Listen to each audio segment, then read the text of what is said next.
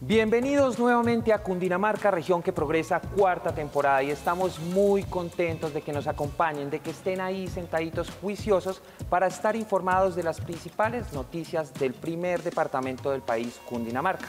¿Y quién mejor para contarnos esas noticias que nuestra compañera Melisa, quien nos trae toda esta información? Hola Javi, un saludo para ti y para todos los televidentes.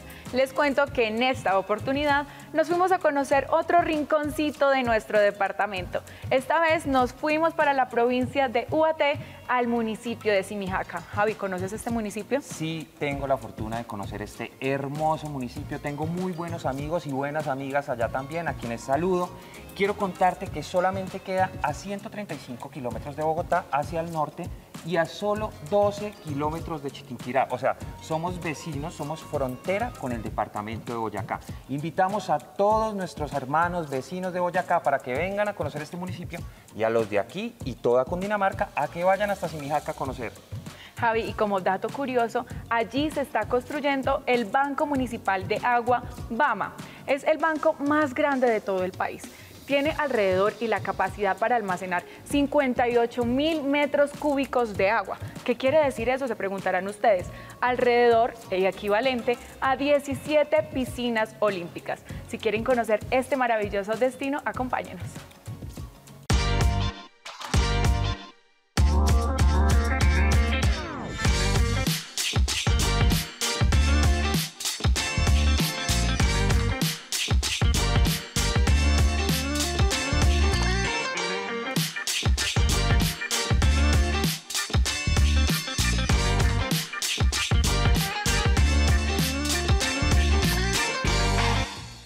Bueno, y para empezar a hablar de Simijaca vamos a hablar de un hombre de esta región. Se trata de don Alirio López, un artesano que trabaja con la cerámica y elabora cualquier cantidad de piezas. Esto es un tortero.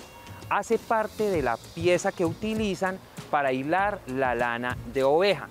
Vamos a conocer de la mano de nuestra compañera Yurani esta nota en donde conoceremos las historias de este hombre y de sus maravillosas manos, cómo transforman la cerámica.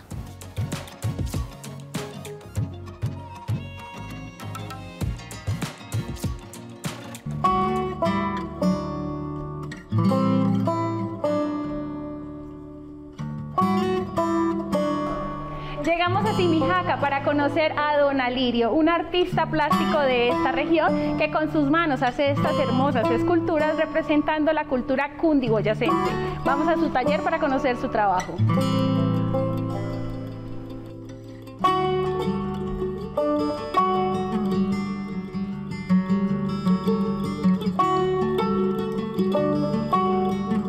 Nombre es Wilson Alirio López, natal de acá de Simijaca, que yo desde pequeño muy inquieto por, por, por la cerámica, entonces ahí comencé a buscar, a investigar.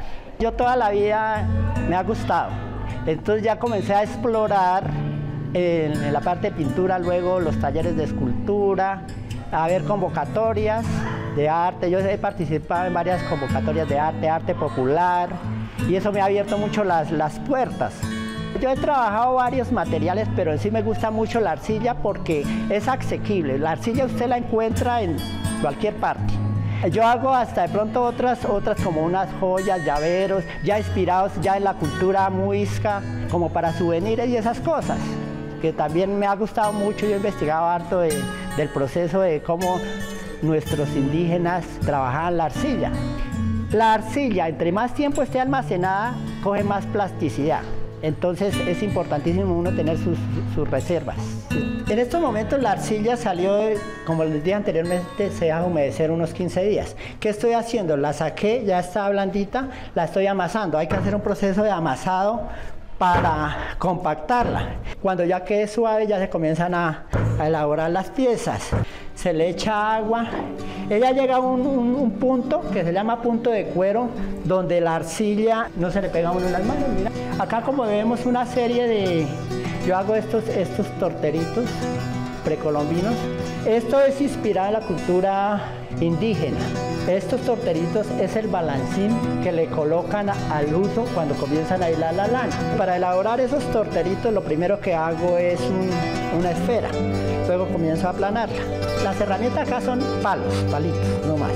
extensores de los, de los dedos. Entonces ahí estamos haciendo el hueco, ya está el hueco, luego con un palo más delgado comenzamos a hacer el diseño. Al cocinar queda este color amarillo, es muy característico de, de, la cerámica. Muy chévere, muy, muy interesante poderles contar a los niños cuando ellos cogen una arcilla que nuestros abuelos que no existían ollas metálicas de aluminio ni nada de eso, sino que ellos construían o había gente que construía eso, cocinaban sus alimentos ahí, transportaban su agua en sus chorotes, en sus múcuras. Tengo una metodología es trabajar con figuras geométricas para hacer animalitos, tanto en dibujo como en la escultura. Entonces, un día se, se, trabaja la pintura y el siguiente día, bueno, vamos a hacer el proceso de, la tercera dimensión, ¿sí? A, comenzar a construir ya con los sólidos geométricos, no las figuras, sino los sólidos. Estar en el Museo Nacional es espectacular, tener ahí esa obra es espectacular, lo es por artesanías, tener un espacio que yo fui a representar a la región andina. O sea, eran cinco regiones que iban por el país. Y yo estar ahí, tener un espacio súper grande para mostrar, eso es espectacular. Habiendo cultura, no hay guerra, no hay tanta violencia. Que nos sigan apoyando. Agradecerle mucho a la gobernación de Cundinamarca que siempre ha estado presente en este municipio, gracias a Dios nos fuimos hasta Simijaca para conocer y degustar un producto que es insignia en nuestro país. Les hablo de el maíz, un producto ancestral, milenario y artesanal que lo usan en Andariegos Cocina de Mundo para realizar un magnífico plato. Nuestra compañera Yurani estuvo allí, veamos cómo le fue con su preparación.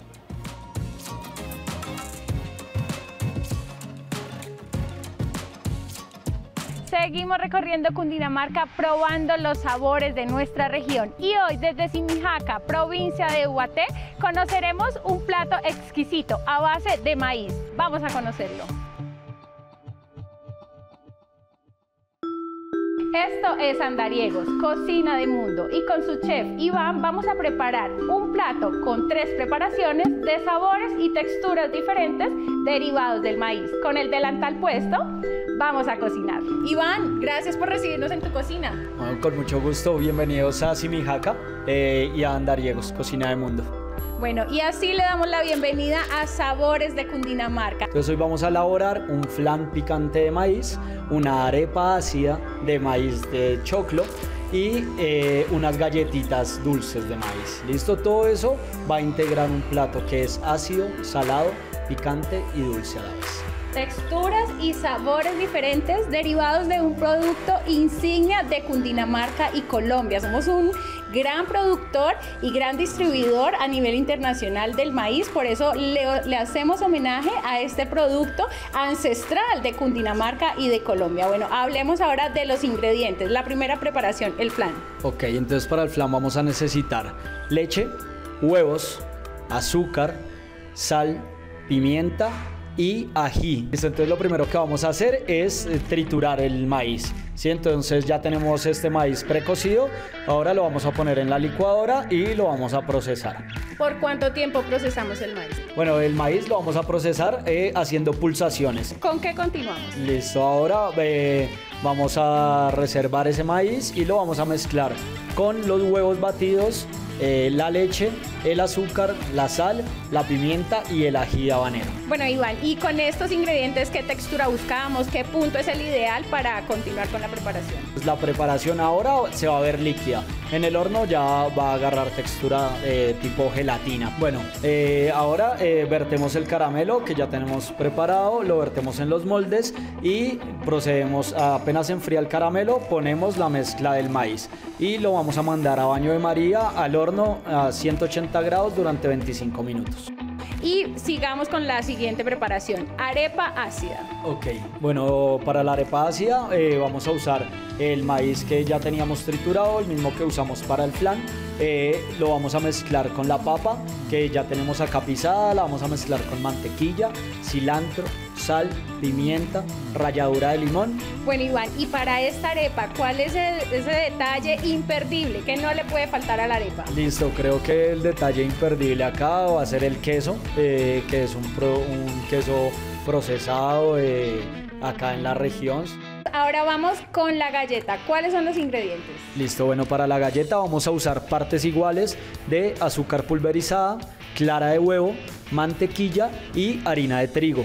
Eh, esta mezcla, que es una técnica de pastelería, la vamos a mezclar con maíz procesado y cilantro como las otras dos preparaciones, el maíz, el rey en la cocina de andariegos. Así es, sí, bueno, la idea es resaltar un producto local que nos representa y eh, presentarlo en sus diferentes texturas. Una vez que los tenemos mezclados, los vamos a poner sobre esta silicona en una formita de gota. Eh, ya están perfectos nuestros flanes, eh, vamos a proceder a desmoldarlos.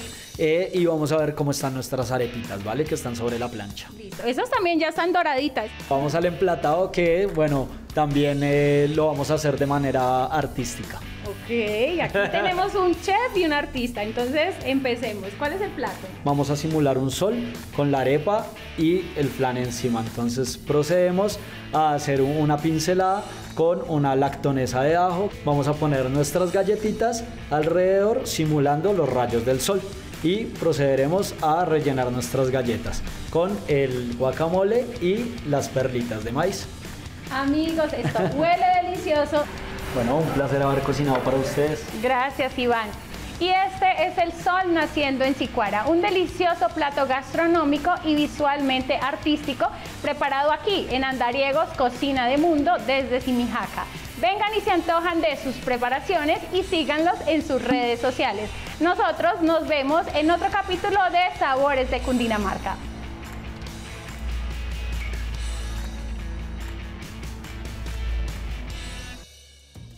Hacemos una pausa y ya volvemos con más historias del departamento. Entre todos nos cuidamos. Recuerda que no estás sola y la gobernación de Cundinamarca tiene una línea de atención si eres víctima de violencia intrafamiliar. Puedes identificar el riesgo con este violentómetro. Ten en cuenta si te cela, culpabiliza, te ignora o no te tiene en cuenta, te humilla en público o en privado bromea de forma hiriente y te descalifica. Ojo, la violencia podría aumentar. Reacciona. Si te intimida, amenaza, controla o prohíbe, si te amenaza de muerte, te chantajea o te empuja, no lo dejes avanzar. Busca ayuda si hay golpes, violación, abuso sexual o mutilación. Necesitas ayuda profesional. Recuerda que además de la violencia física, también hay violencia sexual, psicológica, patrimonial y económica. Las líneas 123 y 155. Funcionan las 24 horas del día para denunciar situaciones de violencia a mujeres por razones de sexo o género. Denunciar salva vidas.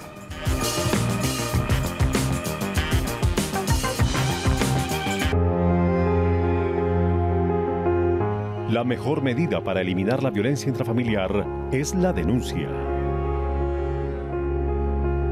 Usa el botón de auxilio en la aplicación 123 Cundinamarca o llama de forma gratuita al 123.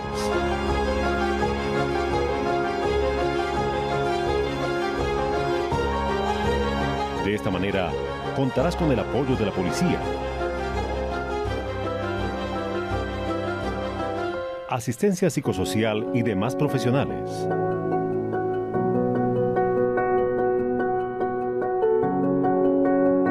Porque el 123 es tu línea amiga.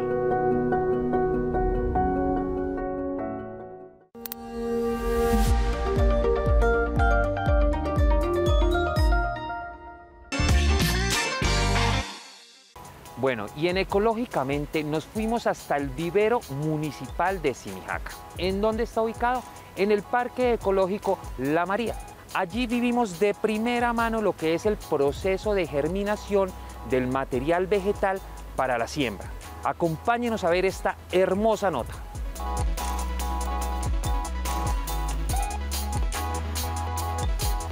Hoy en Ecológicamente nos encontramos en el vivero municipal de Simijaca, donde hablaremos con Jenny Suárez sobre el proceso de la germinación de la semilla y yo voy a vivir esta experiencia. Acompáñenme.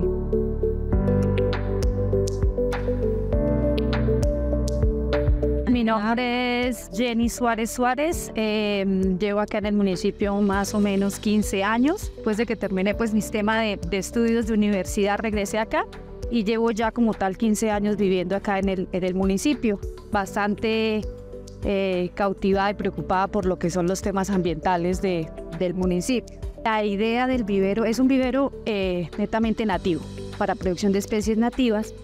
Esta idea nace con la preocupación y, y como con un esfuerzo que venía de años anteriores eh, de que quería el municipio tener su vivero para la comunidad, para las actividades que también desarrollen en el municipio, sobre todo de reforestación y de siembra en, en, zonas de interés hídrico, en zonas de acueductos. A finales del 2021 empezamos a obtener, digamos, la, las primeras eh, plántulas de, de, este, de este vivero. Se hace una adquisición de, de semillas, eh, pues que estén certificadas, que estén libres de plagas, como una inversión que se hace para, para, el, para que el proceso y el material vegetal que se obtenga sea un material sano. Se hace un proceso de, de germinación.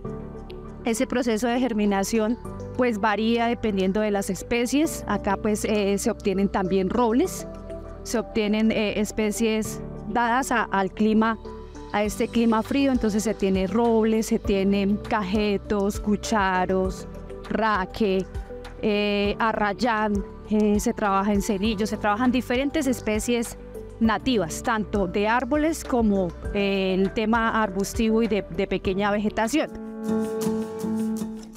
En estas camitas se hace el proceso de, incorporar el sustrato, la mezcla que les estaba comentando de tierra, eh, abono, cal y cascarilla de arroz.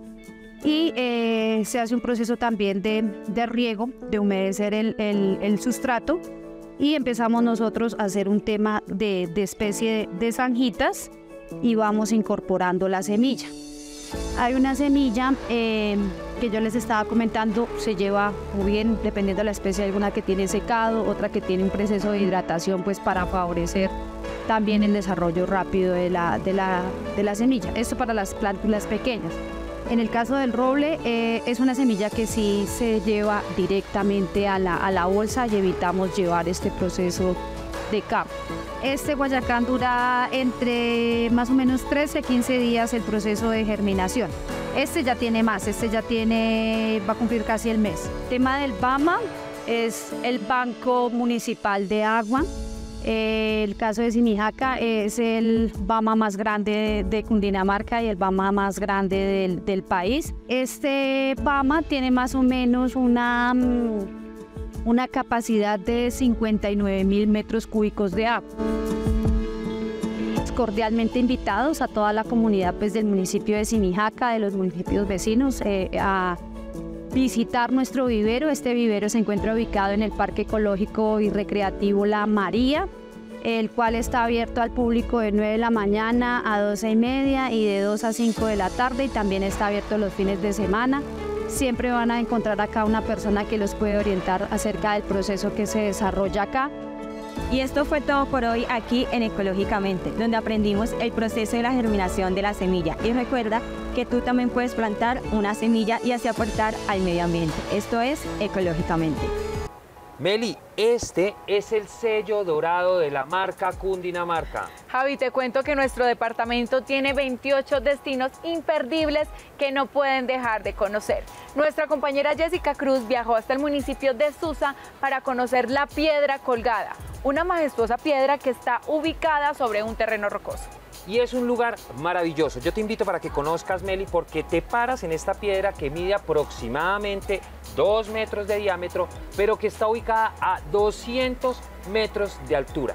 Desde allí vas a poder observar los paisajes más maravillosos del Valle de Ubaté. Y no solo eso, si miras más a la distancia, vas a alcanzar a ver la laguna de Fúquene con unos colores maravillosos, Meli. Javi, nuestra compañera fue una valiente. Veamos cómo le fue. Acompáñenos.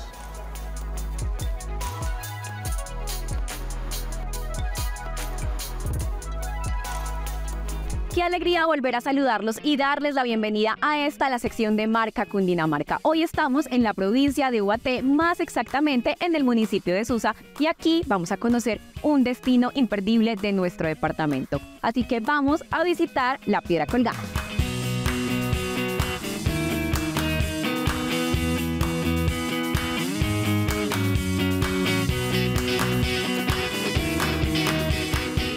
La persona encargada en guiarme por este destino imperdible es Rubén. Hola Rubén. Hola Jessica, ¿cómo estás?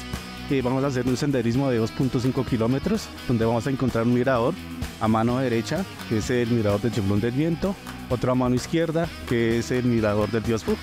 Y de últimas vamos a encontrar Piedra Colgada, que es uno de los mejores miradores del Valle de Ibaté.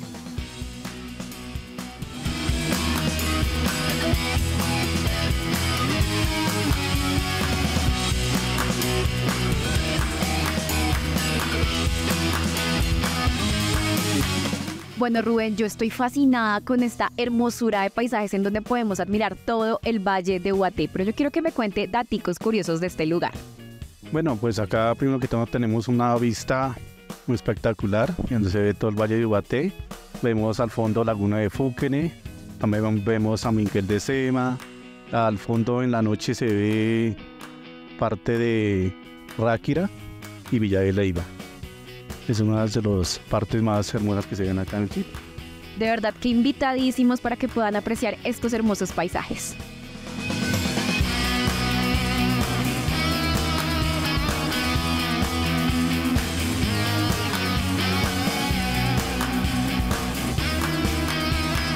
Rubén, ¿cuál es el nombre de este mirador?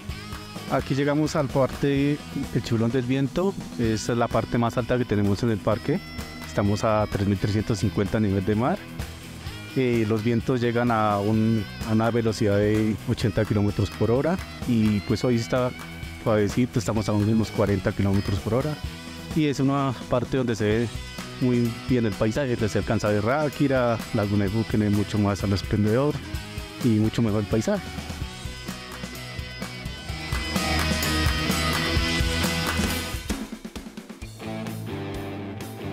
Y ya estamos a punto de finalizar nuestra nota, pero antes vamos a conocer la piedra colgada y por eso Rubén me va a poner todos los implementos de seguridad. Bueno, acá Jessica le vamos a poner el arnés para que bajes por la línea de vida, ya que estamos a 3.350 de pies de altura y con una caída de 150 metros. Y para que disfrute todo lo que es del Valle de Ibate.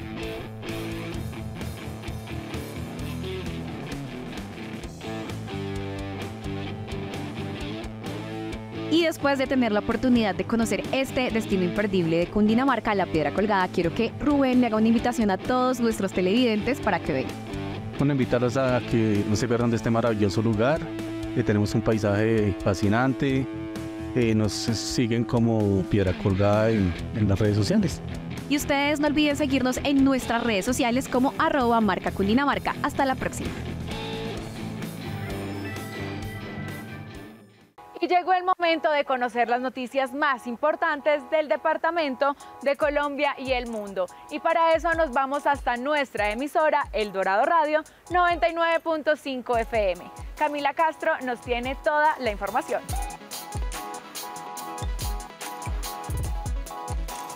Bienvenidos a una nueva sección de Cundinamarca Rinde Cuentas. Como siempre les traemos las noticias de interés para todos nuestros televidentes. Les cuento que la Secretaría de Agricultura y Desarrollo Rural reinauguró la Agrovitrina, un espacio remodelado y ampliado para que los productores, emprendedores, empresarios y artesanos del departamento comercialicen sus productos. Veamos de qué se trata.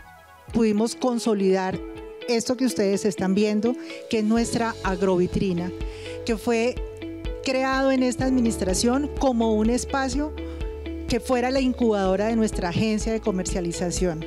Estoy segura que lo hemos logrado. Este espacio se llama la agrovitrina y es un espacio pensado en los emprendedores y productores de Cundinamarca. Este espacio se crea como la incubadora de los emprendedores en el departamento, de nuestros pequeños productores. Hemos eh, dado esta, este ingreso a más de 400 productores del departamento. Hemos logrado unas ventas alrededor de 200 millones y en promedio, cada vez que hacemos estos eventos, los días martes principalmente, se logran ventas alrededor de 8 millones de pesos. Yo invito a muchos más productores a ser parte de aquí de las agrovitrinas porque es una forma de dar a conocer su producto, el apoyo que recibimos aquí y además también nos enseñan a estandarizar nuestro producto de tal manera que podamos comercializarlo y que podamos crecer como marca. 22 computadores, dos televisores, un proyector y 35 tabletas, entre otros, fueron algunos de los nuevos elementos entregados por el gobernador de Cundinamarca, Nicolás García, y el alcalde de Cibaté, Edson Montoya, a la institución educativa departamental San Miguel, la cual fue objeto de robo por parte de la delincuencia en agosto pasado. El gobernador de Cundinamarca, Nicolás García, y el alcalde de Cibaté entregaron nueva dotación de equipos tecnológicos a la sede de la institución educativa departamental San Miguel, ubicada en la vereda Perico de dicho municipio, la cual fue objeto de robo por parte de la delincuencia en agosto pasado. Muy feliz de poder estar acá haciendo esta reposición de elementos que nunca debieron perderse de esta institución. Y nada más doloroso que haya gente que piense que al cometer un delito simplemente está llevándose unos elementos y no pueda tener la visión del daño que le está haciendo a los niños a los que priva de la posibilidad de tener elementos. Entre los nuevos elementos se encuentran 22 computadores, dos televisores, un proyector, un multifuncional y 35 tabletas que hizo feliz a 137 niños. Llegamos al municipio de Quetame y la inspección de Puente Quetame con la estrategia Rodando por los Derechos de las Mujeres, iniciativa que busca sensibilizar a las comunidades en la no violencia contra la mujer a través de la prevención y conocimiento de las diferentes formas de este flagelo. Veamos cómo fue esta experiencia. Hoy llegamos al municipio de Quetame. Llegó rodando por los derechos de las mujeres cundinamarquesas. Quisimos visitar las escuelas, las veredas, el casco urbano en nuestro consultorio psicosocial, llevando un mensaje de sensibilización de no más violencia contra la mujer. Llegamos aquí a la institución, a la normal, en el casco urbano de Quetame.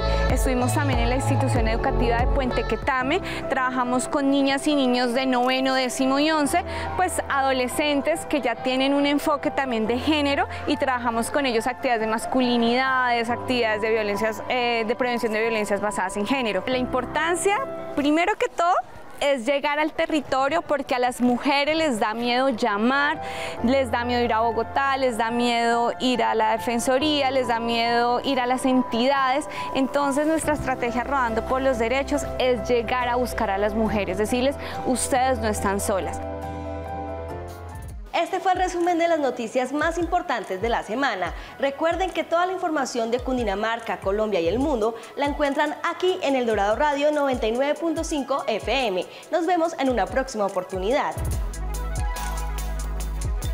Javi, hemos llegado al final de nuestro programa. Pero como siempre agradecemos a todos los televidentes por habernos acompañado durante esta media hora. Y los esperamos dentro de ocho días ahí, sentaditos, juiciosos, ya saben, 7 de la noche, Canal 13, para estar informados de las principales noticias del primer departamento del país, Cundinamarca. Recuerden que si quieren conocer más acerca de todo el trabajo que hacemos acá en la gobernación de Cundinamarca, los invitamos para que nos sigan a través de todas nuestras redes sociales como arroba cundinamarcagov. Nos vemos dentro de ocho días en este su programa, Cundinamarca, región que progresa, cuarta, temporada.